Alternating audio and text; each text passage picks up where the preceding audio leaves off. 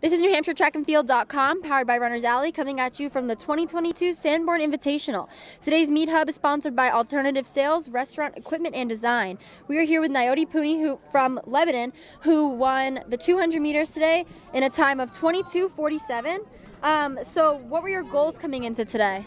Um, my goals were to uh, focus on my drive phase and make sure to not get too upright, but um, make sure I get out fast and you know try to get my way down the 200 meters. So yeah, I think I did that today. Sounds pretty speedy. Um, so what was something that you were really focusing on, um, and what was like something like a challenge that you had to overcome in your race today?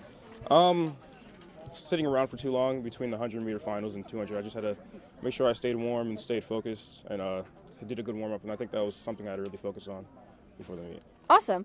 Um, so when's your next meet, and what are your goals for that? Um, my next meet's the Coe-Brown Invitational. My goal is to go under 11 in the 100 and um, to get around 22, 3, 22, 2 in the 200.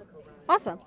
Um, so I know the season's kind of just getting started, but do you have any like long-term goals for the rest of the season? What are you looking to accomplish? Well, I've been looking to break my school record of 11:01. My PR is 11:03 in the 100, so if I could break that, then I'll be pretty happy.